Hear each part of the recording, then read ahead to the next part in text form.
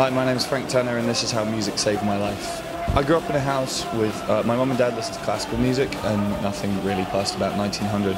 I didn't really have any exposure to modern music, and then um, one day uh, I was at a friend of mine's house, and his older brother uh, had an Iron Maiden poster on the wall, and it was um, the Stranger in a Strange Land poster, which is, for, to my 10-year-old eyes, was a zombie cowboy in the future which was about the coolest thing I'd ever even thought of in my life. I didn't even know it was a band at the time. And um, I got quite excited about it. And my dad um, bought me a present on his way home from work. He stopped in a record shop and bought a cassette of the album Killers and took it home and played it to me. And uh, I can still remember hearing the opening of Ides of March, first track on that record, and it just completely kind of flipped my life upside down.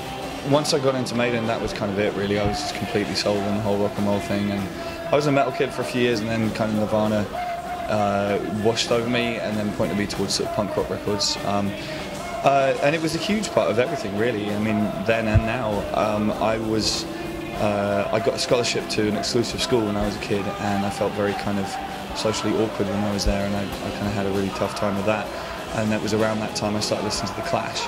Uh, and then from then on into kind of bands like NOFX and Black Flag and The Descendents and stuff like that. And um, the kind of that sort of rage and defiance of punk rock, but also the idea of a punk rock scene and a sort of a, a kind of a refuge for the weird kids was really, really important to me growing up, and um, it was something I really clung on to. As I got a little older, I got involved in the hardcore punk scene in London. Started going to shows from about the age of 16 onwards, um, and got involved in kind of putting out records DIY and doing zines, terrible, terrible zines, and um, putting on shows and playing shows and all that kind of thing. And it was sort of, it yeah, the UK hardcore scene was like my life for five years.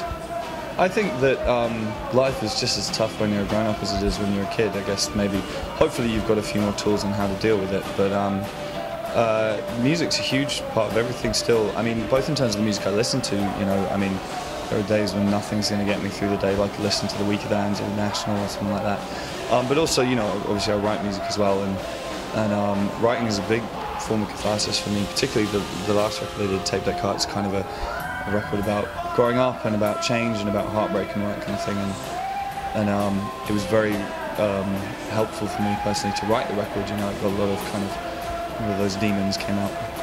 Whenever I go on tour, the support acts we take with us, I spend a lot of time thinking about that, and all, it's a way for me to kind of like try and hopefully spread the word about some good bands. So right now we have the Architects from Kansas City, who are an amazing rock and roll band.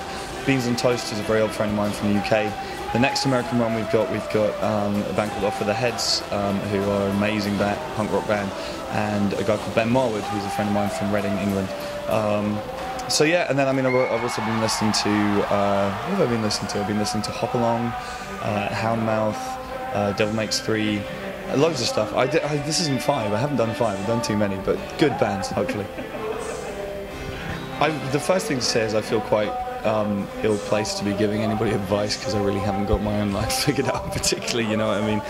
But I mean, I think that the most important thing is to talk about stuff and to, to share it with other people because um, problems loom really, really large if it's just you on your own trying to deal with it and you can get isolated and get lost in it.